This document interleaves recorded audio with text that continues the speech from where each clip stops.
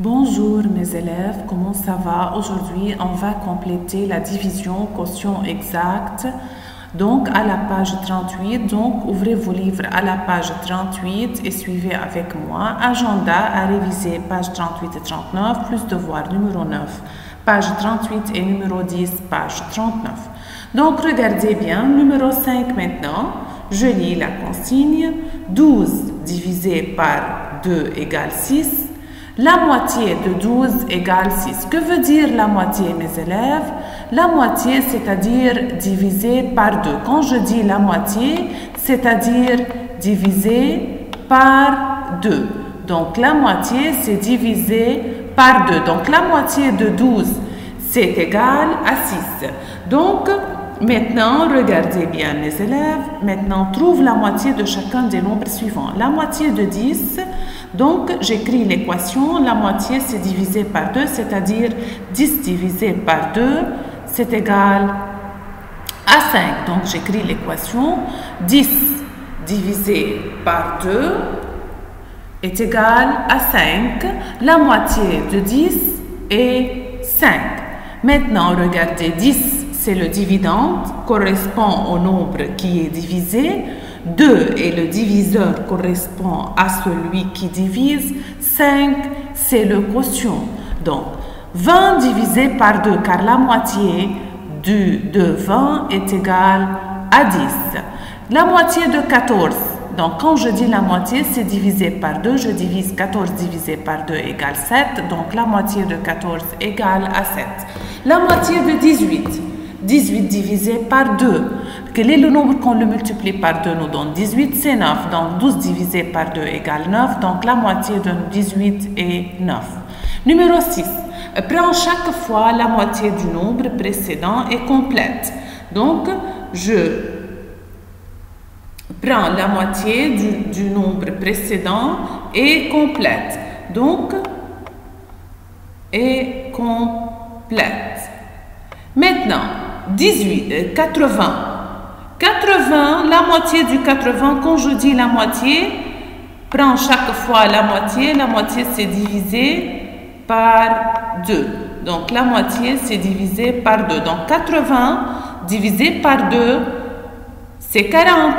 Car 40 fois 2 égale 80. 40, la moitié de 40. 40 divisé par 2, c'est 20. 20 divisé par 2, la moitié du 20, c'est 10.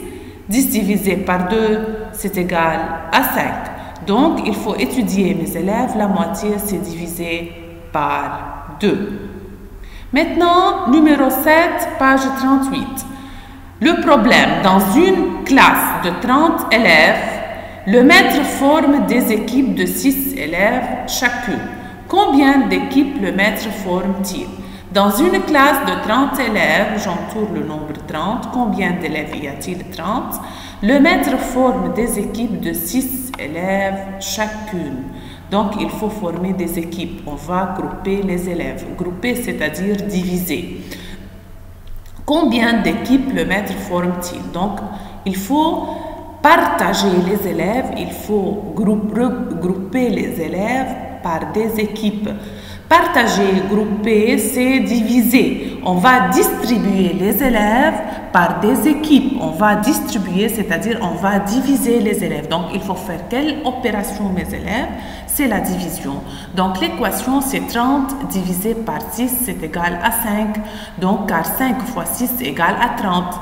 Donc, il faut répondre aux questions. Je barre combien? De J'entoure équipe.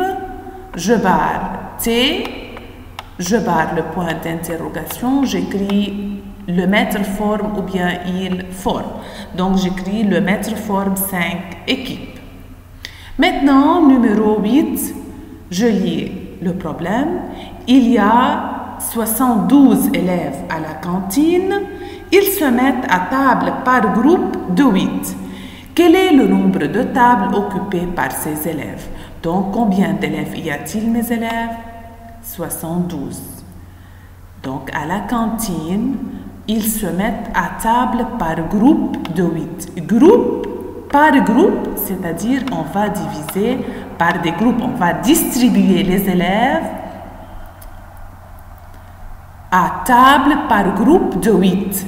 Donc, on va distribuer, on va grouper, on va partager les élèves. Donc, il faut faire quelle opération, mes élèves? C'est la division. Donc, 72 divisé par 8, c'est 9. 9 fois 8, c'est 72. Donc, il faut répondre aux questions. Quel est le nombre des deux tables occupées? Le nombre de tables occupées et le nombre des tables occupées est 9 tables. Maintenant, numéro 11, mes élèves. Numéro 9, c'est devoir. Et numéro 10, c'est devoir. Numéro 11 maintenant. J'en arrange 54 roses dans des corbeilles en mettant 6 roses dans chacune. Combien de corbeilles doit-elle doit utiliser? Donc, j'en arrange. On va ranger Combien de roses? 54 roses dans des corbeilles en mettant 6 roses dans chacune. Donc, on va mettre 6 roses dans chacune. On va partager, on va ranger les roses dans des corbeilles. Dans chaque corbeille, je mets 6 roses. Donc, on va partager les roses dans des corbeilles. Il faut grouper, il faut distribuer les roses dans les corbeilles. Dans chaque corbeille, combien de roses je mets? 6. Donc, on va diviser. 54 divisé par 6, c'est égal à 9, car 9 fois 6 égale 54. La réponse, c'est elle doit utiliser, je barre combien de, j'entoure corbeille, je barre le point d'interrogation, je dis elle doit utiliser bien sûr le sujet avant le verbe, elle doit utiliser combien de corbeilles? 9. 9 quoi? 9 corbeille. Maintenant, mes élèves, merci mes élèves, merci. N'oubliez pas de faire le devoir numéro 9, page 38 et numéro 10, page 39.